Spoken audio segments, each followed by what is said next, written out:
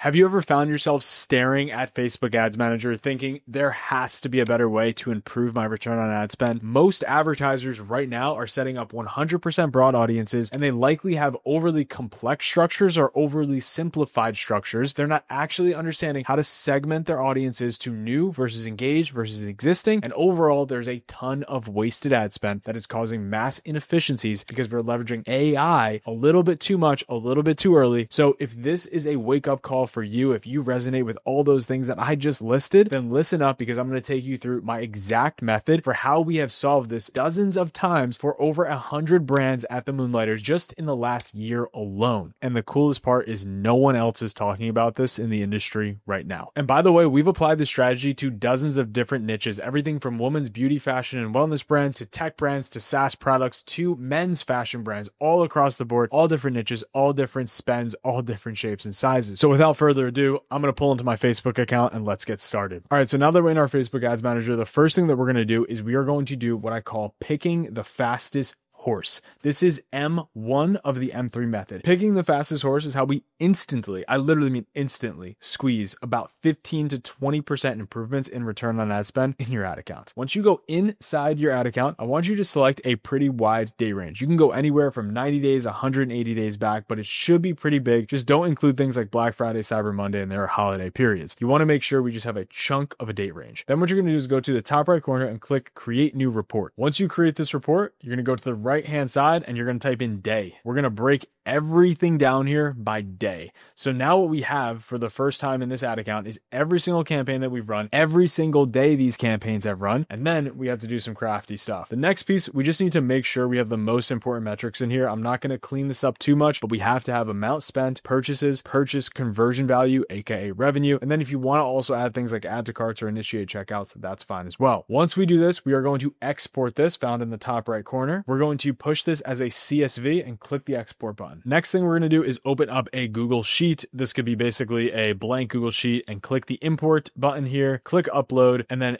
upload your sheet that you just downloaded from Facebook ads. You can go ahead and replace this spreadsheet. Now we have a ridiculously long 500 row sheet, depending on how big the date range is and depending on how many campaigns and how many days you've run your ads, this can get much longer. Next thing we're going to do is we're going to go all the way to the end. So wherever there's a blank cell here, and we're going to type in day of week. We're then going to use a very simple formula. And I understand this is complex. I've probably lost you by now, but if you actually care about driving your return on ad spend higher, then this is what you have to do. We're going to go into the column column that we just created, we're going to type in equals weekday and then select the day that's in column B. Now we should see weekdays represented as numbers. We're then going to highlight our entire table here. We're going to click the help button and we're going to insert a pivot table. We're going to do this in a new sheet, and the pivot table is now going to have all our data aggregated in one place. It's going to be really easy for us to digest. Now, you might imagine where I'm getting at now. We're going to add a row as day of week, and then we're going to add values for all our most critical metrics. Keep in mind, you cannot use pre aggregated metrics. You can't use cost per purchase. You can't use ROAS here. Everything will break because these are sums. So you need to recalculate these on your own. So I'm going to do this in light speed. So we're going to add amount spent. We're going to add purchase conversion value and we are going to add purchases. This is going to get me the most base data that I need. We're just going to reformat some things here. I'm going to make a couple new columns and clean this up. So I'm going to go ahead and build my CPA and my ROAS metrics here. This is going to give me a little bit of better insight as to what's going on. My ROAS is just going to be my revenue divided by my total spend. We're going to hit that down the board. And my CPA is going to be just a touch different where it's going to be amount spent divided by purchases. Push that down the board. What we're then going to do is we're going to highlight all of this and we're going to conditionally format. This is because my brain isn't that sharp.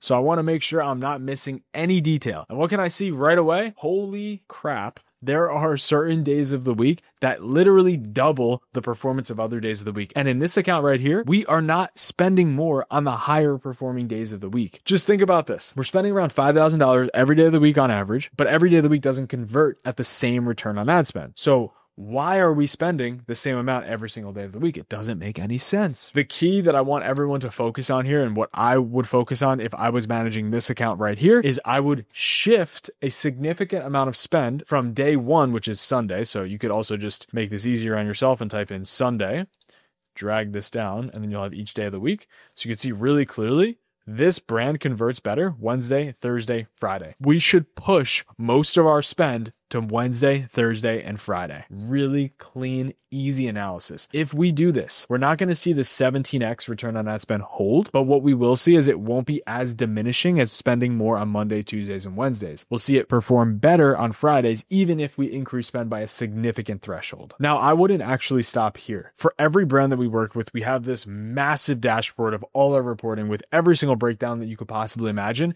And what I would do if I were you is I would create this for yourself. We only do this for our managed clients at the Moonlighters. And by the way, if you actually want to work with us, if you want to potentially become a client or just apply, worst case, you take a 10 or 15 minute call with us and see if you're a fit.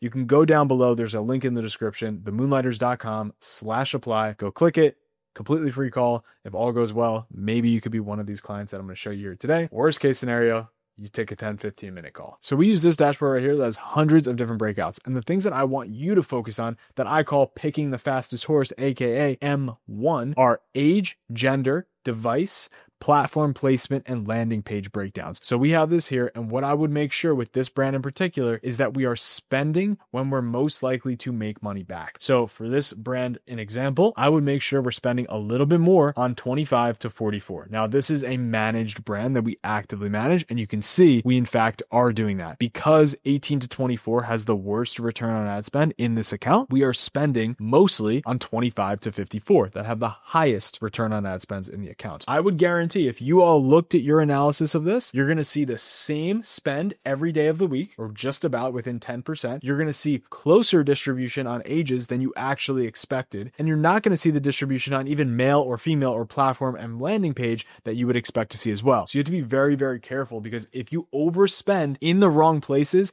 you're putting yourselves in a terrifyingly wasted ad spend scenario. And that's what happens if you're advantage plus everything, broad everything, set and forget. That is why actual media buying still is one of the most important things if you care about your growth in performance marketing. Now, the second thing that breaks everyone's heads that no one's really actually doing right now and that you should be doing if you actually want to run profitable ads at scale, this is the exact structure and system that I would set up in my ad accounts. M2 is a predictable system. And you need to have a predictable system in order to actually scale your advertising today. How do we set up our advertising? You're going to see four buckets here scale, test, retarget, and retain. I'm going to start from the bottom and we're going to work our way up to the top. So, starting at the very bottom, retain. This is how you keep your existing customers. Your existing customers are the lifeline for your business. You need to be selling a product that can be repeated over and over again. If you're not, then move up, skip 30 seconds in this video, but I want to give you the two audiences that I always recommend with two caveats. First, we are always hitting 180 day purchasers and we're hitting all time purchasers. If you have more breakouts, if you're a larger brand, then I would recommend 90 day, 180 day, and then all time purchasers. You could speak to each of these cohorts fairly similarly,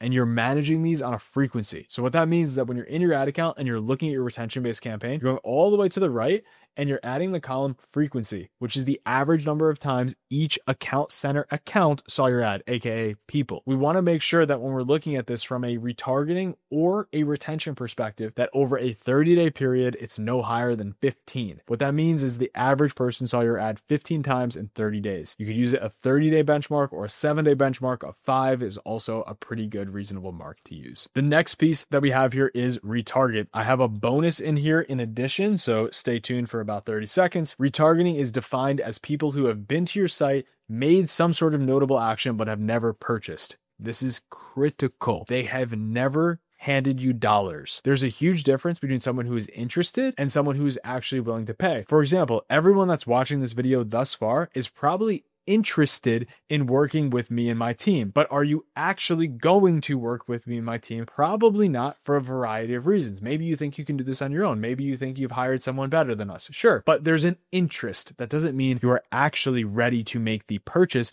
and come on board and work with us. When it comes to your retargeting campaigns, you need to focus on re engaging the people who got almost to the purchase to keep them engaged for the longest amount of time, provide as much value as you can. And the way that we do that is first, we have our own separate retargeting campaign. And within that retargeting campaign, I typically like to break this out into three buckets 14 day Facebook and Instagram engagers. If you have no Instagram following, no Facebook following, make this 30 or even 90 days. 14 is usually the benchmark that I like to run with. Next, I would go 30 day site visitors, anyone who's been to your site over the last 30 days and then add to cart or initiate checkout over the last 90 days. With each of these audiences, this is a key point. With each of these audiences, you're not just setting the normal Facebook audience. For example, when you set these up, most people are going to set this up and set up one single audience and they're going to create a customer list or they're going to create a list of people over the last 30 days and upload it or use the pixel to create that list over the last 30 days. They're then going to click this button, they're going to set this, and they're going to run away.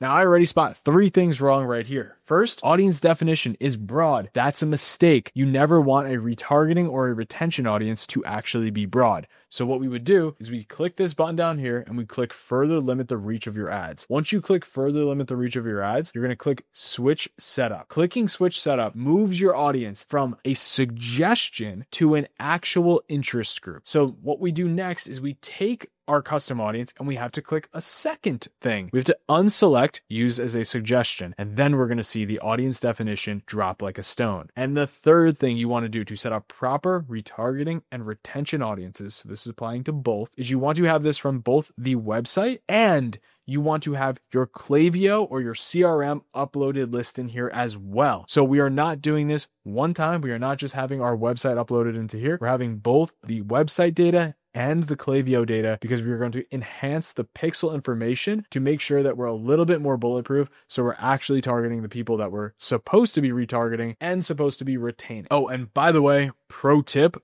exclude your retention audiences from your retargeting audiences. So you want to make sure that all of these audiences are excluded from these audiences up here. That is really, really important. For example, my 180 day purchasers audience should be excluded from my 90 day add to cart audience. So when I go into here, I want to make sure, just like I'm showing you here, and I know this is blurred out for calling confidentiality, but we are excluding the purchasers and we are including the actual initiate checkout here. Popping back to the flowchart. And by the way, if you want this, I always include a link to all of these flowcharts in the description below. Just click that link. You can get it 100% for free. So scrolling up a bit here, we have our testing and scaling framework. This is so critical for everyone to understand. If you don't understand this, if you can't follow this, if you do this wrong, you are never going to find ways to graduate the top ads and get them the most amount of spend. There is something I've noticed recently, especially when I'm reading comments here and when I'm hearing anything else on all the discovery calls, all the audits that we do. I'm seeing a lot of folks graduate ads too early. So keep that in the back of your mind as I walk you through this framework. The core of this framework is we have a single prospecting CBO campaign. This prospecting CBO campaign campaign, also known as campaign budget optimization, is the core of the entire account. Within this prospecting campaign, we have broad packs.